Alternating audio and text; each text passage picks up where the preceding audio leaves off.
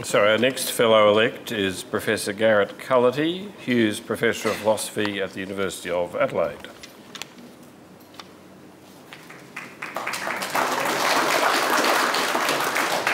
Well, thank you very much. Um, I'm a moral philosopher, um, and my, uh, I suppose, research interests range pretty broadly across the subject. So, a rather traditional way of dividing it up is to say there are questions in meta ethics about what kind of thought moral thought is, questions in normative ethics, which attempt to give a description of which things are right and wrong and why, um, and then applied ethics. And I suppose it's really my work in applied ethics that probably uh, gives me the, the most direct connection with the academy. Um, now, I suppose I've also done some work in areas like the philosophy of action, uh, the philosophy of practical reason, and um, political philosophy.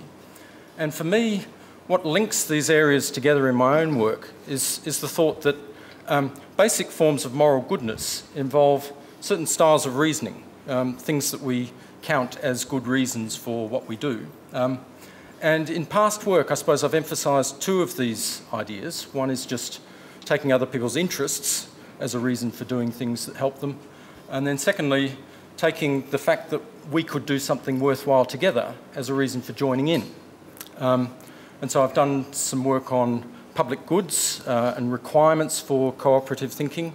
Um, and also some, some work, I wrote a book called The Moral Demands of Affluence um, about the requirements of beneficence and what the limits of those requirements might be.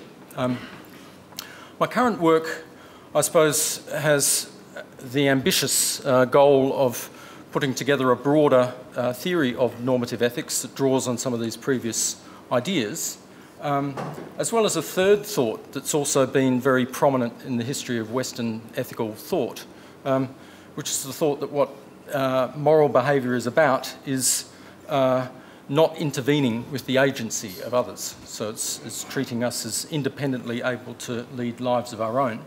Um, and I suppose there are three dominant traditions, each of which I think is one third right, and that means it's two thirds wrong, um, which try to base the whole of what ethics is on either promoting people's interests, uh, respecting their autonomy, um, or joining in with cooperative thought, which is a contractualist idea. Um, and so my, my current uh, work is trying to show that it, it's a constructive way of thinking of morality that involves three separate sources and that there's something a bit more useful that we can do than just to say we have to balance these three independent um, uh, sorts of consideration against each other. And I think there are more complex ways in which these sources can interact um, and that we can actually uh, say something useful about um, issues such as consumer ethics, the ethics of climate change and, and so forth.